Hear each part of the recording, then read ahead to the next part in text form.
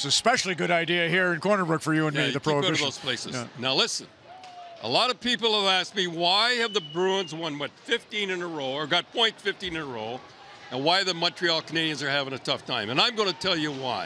I'm going to show you one little instance. You have to stand up and be counted. You can't look away. Watch Backes right here in Hudon. Watch this here. This is the difference. Cassidy would see this. If this ever was a Boston Bruin, look out. Now watch. He's following him in there, knocks him down.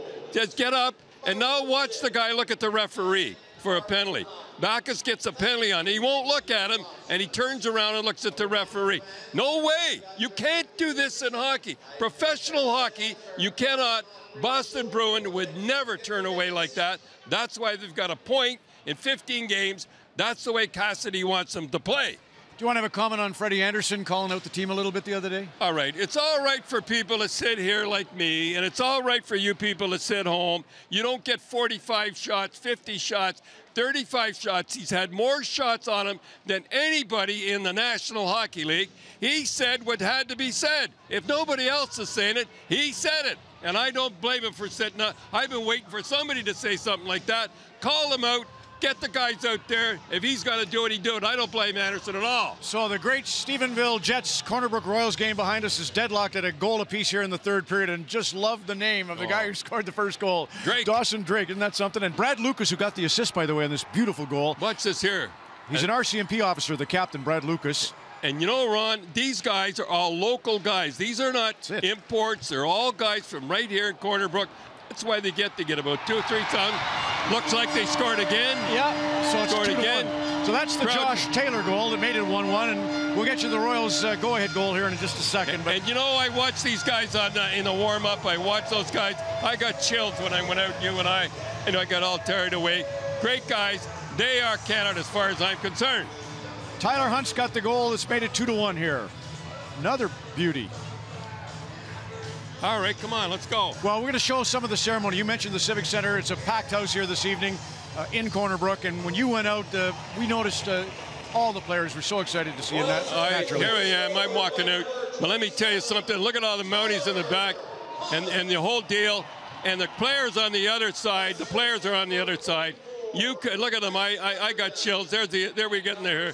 I'm telling you, boy, this is hockey. Being in this country right here, Corner Brook. I'm glad you looked up on that one. Uh, but that could be the worst puck drop in the history of puck drops. Christian Kovley is the assistant coach, and he uh, is sporting your suit here tonight. Does he Yeah. ever look good? So we got a few little tributes to you. There's Christian, did a great job. Mr. Leslie's grade fives here in the arena tonight. Pasadena's grade five students drew up some Don Cherries, and they're plastered on the wall here. Don Cherry plastered. I've been looking forward to saying that. But there we, Plastered many times. yeah, they got my suits on there. Look, look good. Isn't that nice? Pasadena Elementary.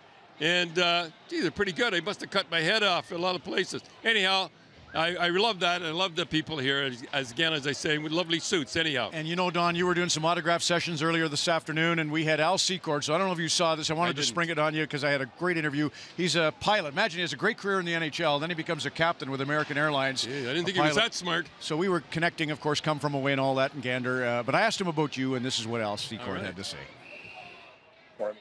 He was the, the best coach that I ever played for. Um, I mean, Don was the kind of guy, he was a player's coach. Uh, you wanted to go through the wall for him. He took care of his people, and uh, he was a pleasure to, uh, to play for. I, I always appreciated Don's uh, support and words uh, on the telecast uh, through the years. There was a few years where I struggled, and I, and I, Don came on Hockey Night in Canada, and I did actually did see him by the Toronto Maple Leaf dressing room one day. He said, "I'll just just keep pressing forward." So he's always been in my corner, and I truly appreciate it. That's good. All right. I didn't know that. Love Al. Boy, he was a left-hander. Could he throw him sometime? I'll tell you the story about him and Hutchison.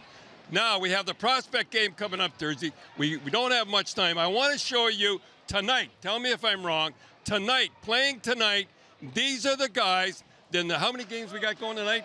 Well, we got six uh, teams playing tonight, but we're including the Flames and the Jets from this no. afternoon. This, these are the guys that have played in the prospect game, believe it or not. All these guys that are playing tonight.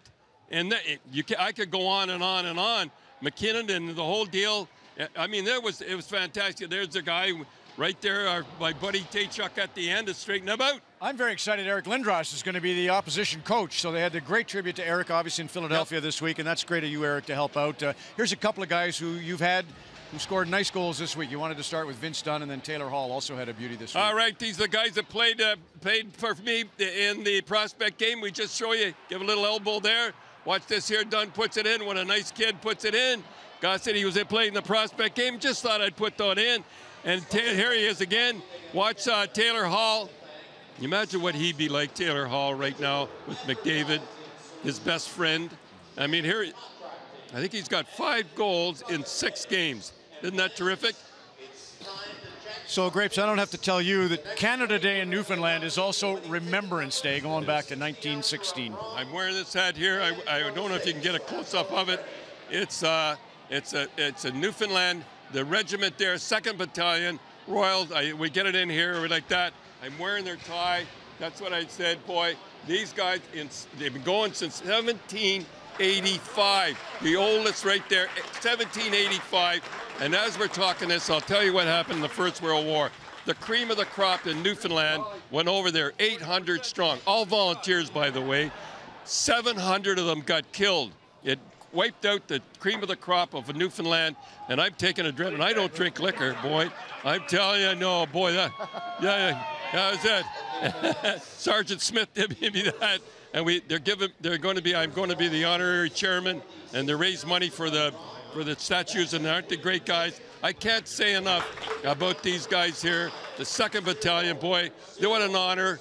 Honor one of the honors, and they pinned the forget-me-nots on there. They that, they pinned those on before the Remembrance Day. Anyhow, this is a highlight for me. Wow. Uh, isn't that beautiful? And at the end, we show. I'm just going to show you the guys. We're all brought all the guys got the thumbs up. That is Canada, as far as I'm concerned. Beaumont Hamel, Don Cherry from Corner Brook on the Coach's Corner on Scotiabank Hockey Day in Canada.